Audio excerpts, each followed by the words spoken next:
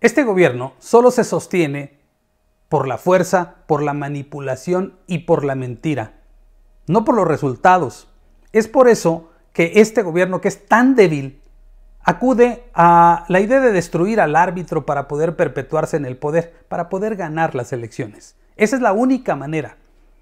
Por eso también nos divide y nos confronta.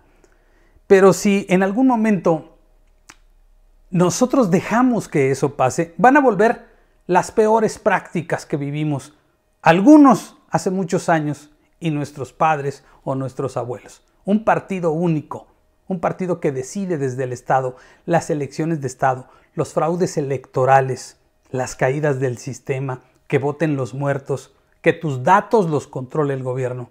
Por eso queremos salir este 13 de noviembre a marchar, no solo en la Ciudad de México, sino en varias ciudades del país, para decirle muy claro al gobierno y a la propia oposición que el INE no se toca.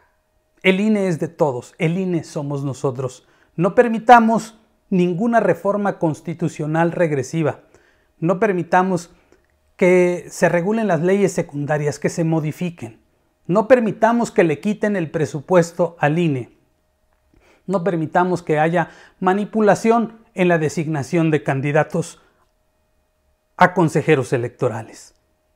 Eso es lo que queremos, por eso estamos luchando. Te invito a que salgamos a marchar aquí en la Ciudad de México el 13 de noviembre, domingo 13 de noviembre, a las 10.30 de la mañana en el Ángel de la Independencia. Ahí nos vemos. Muchas gracias.